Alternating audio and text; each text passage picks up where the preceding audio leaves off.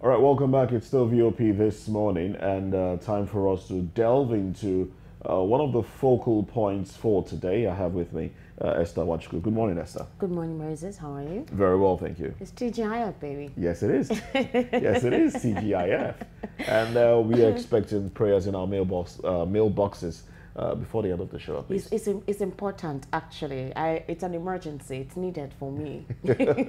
All right, then. All right, so the Economic Community of West African States has directed the deployment of standby military troops to restore constitutional order in the Niger Republic. Now, ECOWAS gave the directive on Thursday at the end of its second extraordinary meeting held in Abuja to address the political crisis in Niger. The resolve is to deploy force and comes days after the military junta in Niger defied the ECOWAS deadline to reinstate ousted President Mohamed Bazoum. The regional bloc had threatened the use of force as a last option if the Nigerian military authorities remain recalcitrant to one week from the ECOWAS first meeting, which was held on July 30. In his opening remarks at the second extraordinary meeting of the organization, President Bola Tinubu said the political crisis in Niger not only poses a threat to the stability of the nation, but also has far-reaching implications for the entire West African region. Now, joining us virtually on VOP this morning to talk about this is a legal practitioner, Eze Eluche, as well as a political enthusiast, and John Akurili, a public affairs analyst. Good morning and welcome to VOP this morning. Good morning and thank you for having me. Thank you. Thank you, Barrister Eze. So would, would, would you say the resolve yesterday by the ECOWAS community to, you know, put the military force on standby to reinstate uh, President Bazoum of Niger, would you say you expected this? Well, considering that um, in real sense, ECOWAS is what you can refer to as a president's club, not a people's club what they are doing now, what some of the members of ECOWAS, not all members of ECOWAS, are doing is expected. Why I say some members of ECOWAS? ECOWAS, right from its treaty, from its inception, has always acted with unanimity. There's, it's all the parties have to agree on a course of action. That is what the treaty says. So in this instance now, you have some presidents of ECOWAS are making this decision because rightly, presidents of um, Niger, Republic, Mali, Burkina Faso are not part of whatever is going on there. So what is going on is expected. And when you look at the caliber of people who are making these decisions, it gives goosebumps. Hmm. These decisions for ECOWAS. One of them is the president of Senegal, Macky Sall. He's been there for since 2012.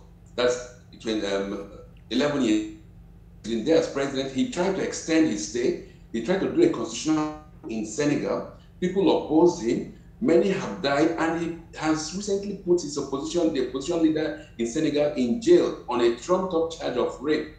The other people are this, somebody like uh, Alassane Ouattara, the president of um, um, Cote d'Ivoire.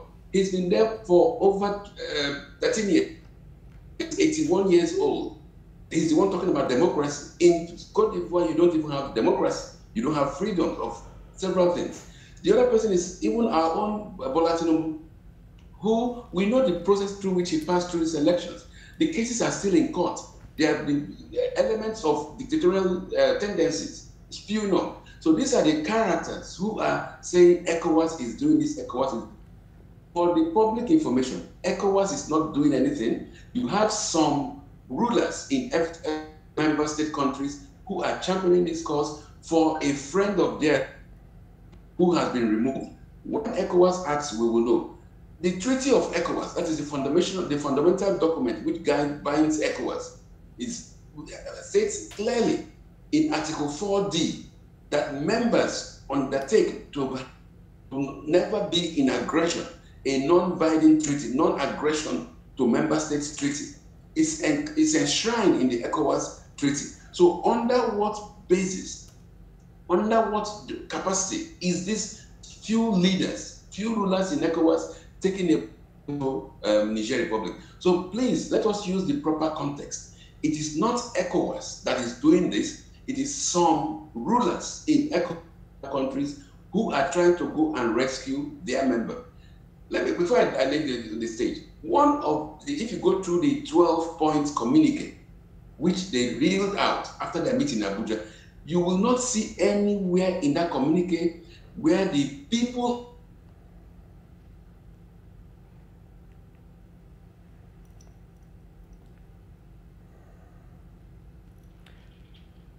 All right, unfortunately, we have a network glitch there, and uh, uh, I would love to hear um, Barrister, Eze Eluche's point there.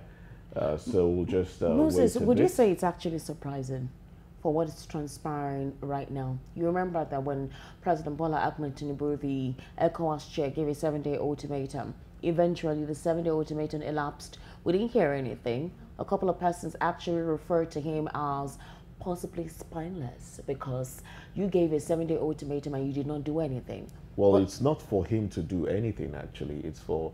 Uh, he's only the president of ECOWAS. He can't mm -hmm. do anything without. So why why did you declare an, a military invasion on an independent nation without going through the due process? Because at the moment, I what feel the due the due process was like he was meant to have a deliberation with Senate. They come out to resolve if with they the would Senate. approve. Yes, the Senate all right, we have John Akerele um, on standby. Good morning to you, John. Good morning to you, Moses. Good morning to you, Esther. Good morning to the viewers all over the world. Good morning, John. All right, John, we're talking about uh, the standby force that ECOWAS has, you know, has uh, activated uh, for uh, to observe things going on in Niger and probably, you know, swing into action if the junta in Niger refuses to uh, do what ECOWAS is asking. But right now, there has been uh, a military president in Niger. What does that, how does that affect the position of ECOWAS? Thank you for that question, Moses. I, I think it's important and, you know, that we give a background to this story so that our viewers can have a proper understanding and they can have informed decisions. The Story goes by. Um, there is a continent, Africa. There is a sub-region, the world state, and that's where you have the ECOWAS. And after you know supervising the whole of Africa, but in this case, we also have leaders of different West African countries who have come up to make up ECOWAS, and which is one of their agenda is growth of the region. So the question we should ask regard is that have we seen economic growth over the years? And that's a question to be answered by the so-called uh, uh, member states. Now, let's also look at what is happening at the global stage in terms of Russia-Ukraine um, war, which is indirectly Russia-NATO crisis. And if you look at this, Africa is also a stakeholder in terms of global affairs. And that's why um, the Western allies are looking for a way to break Africa into regions for and against, so that in case there is a World War III, I suppose is coming, uh, different parties that will pitch their tents either to party A or to party B. And also, there's also uh, a case of um, imperialist, uh, you know, where the people feel like they are still being colonized even after getting independence from their colonial masters.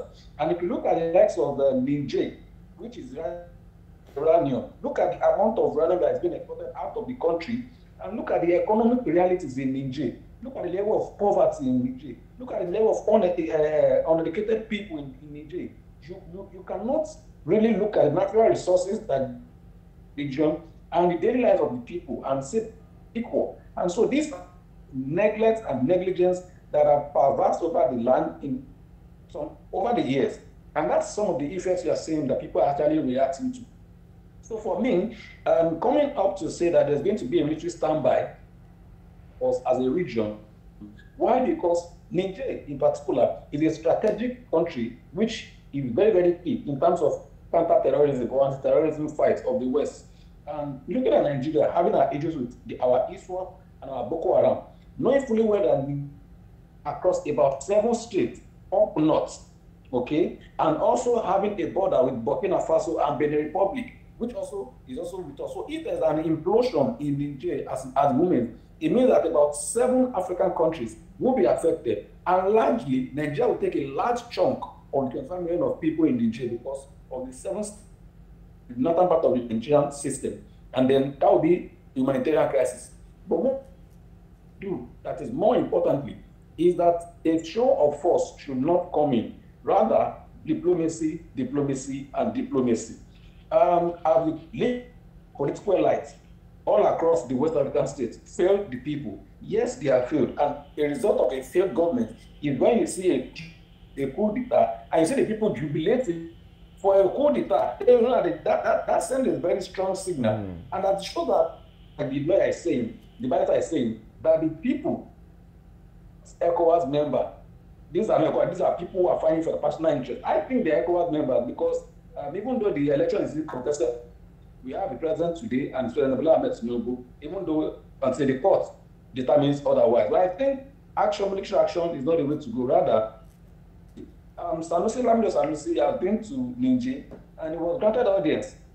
And it shows that there also there's a, a, a, a, case of mistrust between even the coup leaders and Nigeria as, as an entity. So if they cannot trust the likes of Abdul Salam and, and the Sultan that went to, you know, they couldn't give them audience to the likes of Sanusi Sanusi. Anybody who can have the listening ear of the coup leaders is what Nigeria as a country should, you know, explore such avenues so that we can have the diplomacy.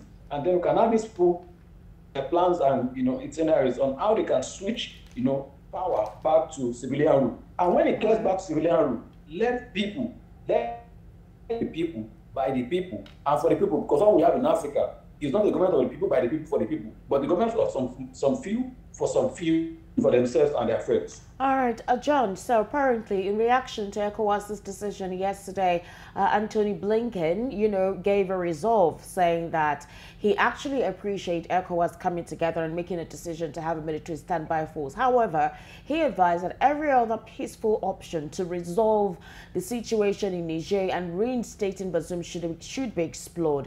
But at the moment, do you think that Niger is open for dialogue? Do you think that they're open to reinstate Bazoum, considering the initial uh, response of uh, the, the of ECOWAS community to visit them at the time, and they literally cut ties with the ECOWAS community? So do you think Niger is open for any form of dialogue now?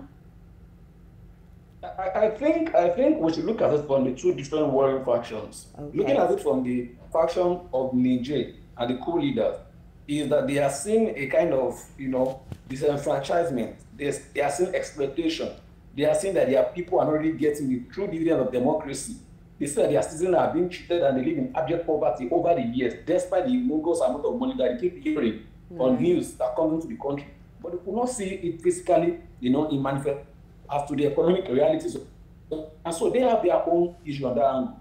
On the other angle, uh, also is having their own issue. But I think what, what, what is more important, there should be a timetable. You know, when coup happens, because let's, let's check our history, even in Africa. In Nigeria, we've had eight times. Um, in Ghana, I think about 10 times, if my memory serves me right.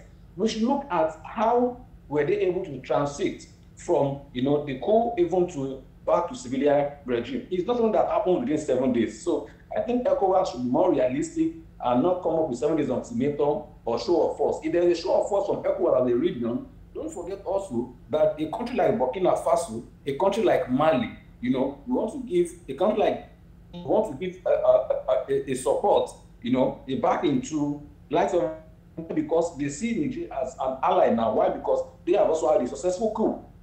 If that is happening, you see that you are building a section of the of the ECOWAS region against another ECOWAS. So there's division in ECOWAS, and there's division in ECOWAS, that is also an avenue for um, the Westerners to come in. Maybe Russia will take uh, the, the military, while the US will take the civilian aspect, and that's also a problem for Africa. So we should not get to that stage where there will be implosion uh, in Africa through Niger.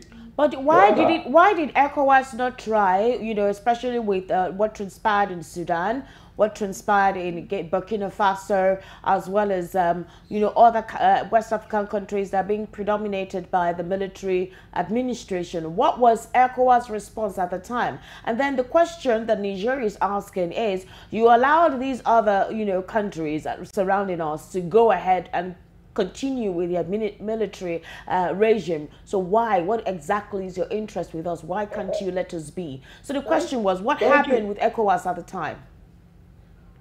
Esther, thank you for that question. And so this is it. You know, when there's been an act of negligence and irresponsibility on the part of leaders over time, and that's what's happening.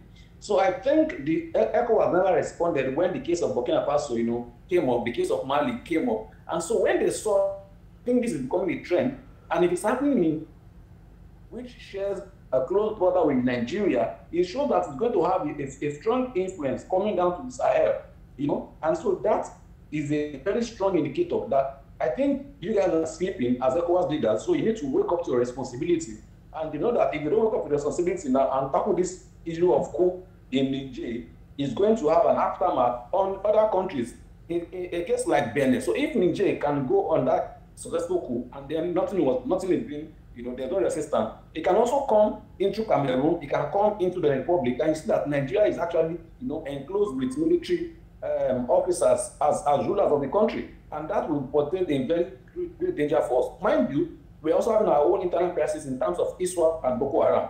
And so there's a joint uh, task force between Nigeria and Niger, and even the lecture an effort to combat this. So if this we there's a division between us in that regard, it it it presents more danger for us as a country, and it's not good. So I think ECOWAS on, on, on the other hand have been a docile leader, and I think now they are waking up to their responsibility. But even in waking up to their responsibility, they should not go in the way of force, rather go in the way of diplomacy. Since they are talking about democracy, democracy is not a show of force, rather negotiation when they come to a roundtable discussion and everybody can bring up their then they can be for and against. We can shift ground. They also shift their ground. And then we'll come to a middle point where we can come to a point of agreement. So I think um, they also should show in their statements as ECOWAS that they are being democratic in their approach and not being authoritarian like they are accusing the uh, coup leaders in Niger. So I think it's from both sides. They should look at it as whose interests are we doing this? The coup leaders are doing it in the interest of Nigerians, and Nigerians are in full support of them. Now, the ECOWAS leader should also make sure that the people, the populace, see them in the light that they are also fighting their own cause rather than fighting a personal cause. I think for most of Nigerians now, they see it as a cause for ECOWAS to fight for the, one of their own, not for the real people of Niger. And that is a problem. So that impression needs to be corrected, and then tables should be created for negotiation, more negotiation, and more negotiation come to point of agreement. So for me, I think one thing they should do is to ask the military junta, what is your timetable? What is your plan for Nigerian people? Soon do you intend to hand over or you know to have a transition government? Look at it, the, the, the military junta already have, have a cabinet. You know, that shows that exactly. they, they, are moving on with their plans. They don't even care what ECOWAS has got to do. So but right, ECOWAS should you know engage with them long do you want to hold on to power? Is it six months? Is it one year? Is it one and a half year? And then they can come to a point that okay, we're giving you eight months. Within eight months, let's see how we can conduct a good and credible election within the people. And then the option of the president, that's uh, Bazoum, can also be challenging on that table discussion. One is that will Bazoum be allowed to contest as the presidential candidate again? That's one. If he will be allowed to be contest to contest the election, fine. If he will not be allowed to, be, to contest the election, that's also be discussed because now the people do not even trust Bazoum as the president. Rather, they see Bazoum as a puppet for the Western and allies of uh, Niger in terms of exploiting their natural resources. And so these are some of the areas I think they should look in and so they can come to a point of agreement on the table of negotiation. All right, I want to believe we still have uh, Barrister Eze Eluche with us. Barrister Eze, are you with us? Okay, I I think we've uh, we've uh, not been able to reconnect with Barrister Eze Eluche. So I'm going to stay with John on this one. Now, John, um, first, firstly and quickly too, was Nigeria or was ECOWAS hasty, or better, uh, be, uh, better put, was Nigeria hasty in closing its airspace and closing its borders to Niger? Was that a very hasty decision? Yes, John? yes. I, I think um, if you look at the speech of Mr. President when he assumed the position of the chairmanship of uh, ECOWAS, and he, he, he re-echoed the issue of coup, I think he saw that coming, you know, mm. and so after the inauguration in May, in May, you see that coup happened in July 26, about um, two months down the line after the inauguration. And so it, it, it's more of a very hasty It's more of a reaction. Now, if it's a if it's a hasty you know? decision, how will it affect negotiations going forward?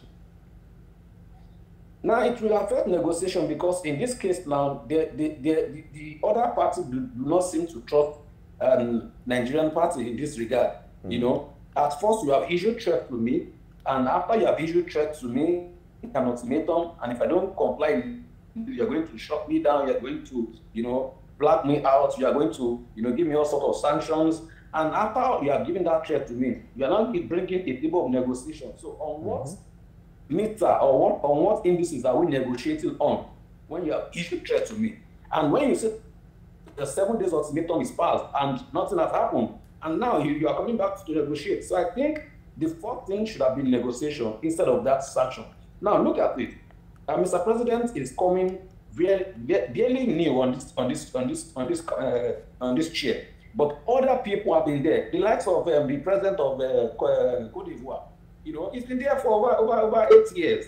And these are people who, if you check their own country, they've not really given the uh, democracy to their people. And they are coming, you know, to foster that leadership on, on our own president. Let me not lie to you. The bulk of the funding or ECOWAS joint military force that they want to mm. use coming from Nigeria. Yeah. And it's at this time that we are cry, crying that we don't have enough resources to take care of our own internal security challenges and want to expend some money, you know, to take care of other people's challenges. I think the president should should should sit down and should have his own cabinet and at this point in time, the NIA should, you know, swing into action and brief the president properly on due uh, intelligence gathering and him proper things on how to go about it. Looking at what has happened in previous years, looking at past record, looking at past experiences, looking at past histories, and they can draw inferences as to making further decisions. So I think the two is rather they should, you know, pipe down a little bit. And even when other African leaders are pushing Mr. President to take actions, he should also tell him, tell them that he's a man of his words, he knows what he's doing, and he needs time not to be hasty in taking decisions. Because any decision you take we either make or mark. So if you look at the indices that, I've, that I outlined earlier, um, it, it, it portends a great danger for us as a country, Nigeria, if we go the military route. Because if we go the military route, then we are seeing a whole lot of IDP camps opening up in the north. And if the north is not settled, you are sure that the south and the southeast or the south south will also set. Interesting. Don't forget that the southeast also have their own security challenges. So mm. it just make a, a, a chaotic country economically will not be stable, and then we have a problem on our hands that we can even treat. Interesting, right, and okay. we do have uh, IDP camps already in Nigeria, occupied by by Nigerians that have been displaced. So getting uh, uh, uh you know um, displaced people from uh, neighboring countries will not augur well for Nigeria, indeed. But now let's look at this. Now, a school of thought has it that uh, they might not need. I mean, ECOWAS may not need to actually invade Niger because there's been a, a reactivation of an ex uh, rebel leader, Rhissa Ag Boula, who was who was actually a minister of tourism in Niger during the regime of a coupist president. Now he has formed what he calls the Council for um, Resistance for the Republic, and he, you know that's the first internal resistance that they are getting. Some would say he's been reactivated by powers that be to, to, to stand against the military that have taken power. How do you see this playing out? Well, I, think what, what just asked me the same case of uh, Sunday who was not arrested in Nigeria but was arrested in Benin Republic. And government have claimed that they, they have no hands in that escape. I should answer to the Benin Republic government. Same thing is happening here. So they are using what we call the internal mechanism, you know, using one of you to fight your own in your own country so that there, there will be no issue of foreign interference or westernization of the crisis. And so it's, it's a case of using one of their own, you know, which is being sponsored and by, by the powers that be. That for, for sure is a part. And if you look at some of the powers that be, um, the France and the US will not be taken out of context in this conversation. Likewise, Nigeria as the giant of Africa will also not be taken out of context. Don't forget also that the US is ECOWAS standing, and the ECOWAS standing largely is Nigerian standing. And so if there's a backing from that, that shows that a part of the, the Western uh, world is actually giving support to ECOWAS indirectly. And so it means that if there are opposition within Nigeria itself, it shows that some of these people will also give support to, so that there can be confusion in land. And it's that there's some Nigerians are saying we want civilian rule. Some Nigerians are saying we want the military rule. So it's it's now a case of what do we do between these two? And that can now be the basis for bringing in intervention, either from ECOWAS or from the US or from France. Don't forget also that these countries also have their own military bases. In Niger, I think one in Niamey and the other one in, in the north of Niger. And so these, these are, are, are tensions that we should ask ourselves. Why the, the, the location of bases in Niger? How come they spend so much millions of dollars in terms of foreign aid, in terms of military equipment and all of that, but less in terms of so these are questions that are begging for answers and they are yet to be answered. All right, so uh, Niger has already formed a new government. And that's based on a decree that was announced on their national television yesterday. Now, they have a prime minister whose name is Ali Mohamed Lamine Zeine. He will lead a 21-member government with generals from the new military governing council heading the defense and interior ministries. The reason why I'm asking this question is, it since the coupists have the support of the people, that's one. They really do not care about most of the sanctions placed on them. For example, the uh, Nigerians block them from having access to their seaports. They cannot have any access to any form of trade or relationship with us. The borders have been closed. These are impeding sanctions. They have stopped giving them electricity and whatever it is that they have a relation with. But obviously, the Nigerians do not care because for them, they already anticipated that these sanctions would be imposed. But going forward, with the Nigerian, uh, with ECOWAS saying that they're going to put a military force on standby, how long will they be on standby? And if Niger does not want to have negotiations as they have severed their ties with ECOWAS, then what happens? What next? Will the ECOWAS just stay put in, in, in order for there to be no war because definitely the economic implications in this part of the world will be detrimental. What then? What's next? I think Nigeria should be very, very careful because Nigeria is like a big brother to the whole of Africa, not even in ECOWAS region alone. And so our decisions we either make or mar. Don't forget that we are the most populous black nation. And so even in Africa, there's no other country that can withstand us in terms of our population. Mm. And so we should be careful because any decision we make will, you know, disrupt the whole of Sahel region. Now, if Niger, that shows that we have a kind of a set of people who are who are determined, you know, to break from this um, colonial rule, mm. you know, and they, they are determined, and the people are with them, and that is where it is even more complicated. It's a complex situation in Niger right now because when the people are with the coup leaders, then on what side are you? That's the question they're asking the, the so-called ECOWAS and even the France and the US, because that's what they're asking. If you are saying yourself, but people want this. So it, it's a bit dicey for you to, to come in that regard. Now, when you bring up sanctions that are severe to such a country, don't forget also that Nigeria and Niger had, uh, you know, a treaty in terms of our dam and power generation, and that would supply them electricity. And that was, you know, was taken out for uh, as one of the sanctions so the, the larger part of Niamey now does not have electricity because Nigeria provides 60% of electricity to them. And so that alone shows that you have sent a very strong signal that you are against the, the coup, that you are against the and, and, and that's the signal. So they now are looking at how they can live their life outside your support, outside supplies from you, and how they can view themselves. And if that should go on, is that um, the security threat, you know, coming from Libya all through the Sahel, um, proliferation of, of small arms, and what that tends was that terrorism will be the increase, and our northern region will not be a safe zone for us. And if that is not a safe zone for us, Nigeria as a whole will be in crisis because it will trickle down to other regions of, of, of, of, of the country. And so I think we should not go that route, and we should not also fall into the uh, NATO and Russia crisis. Let them, let's allow them to deal with their crisis. And also, the people are saying that one of the narrations military uh, junta are selling to the people is the fact that he, of Burkina Faso, in his speech, he asked a very serious question. And the question is, what happens to the uranium all of the years that exploded from, from Niger? You know, what happens to the oil from Nigeria? and all of that. You know, these are questions that are talking about economic gains that they should gain from democracy. But over the years, they've not seen that happen.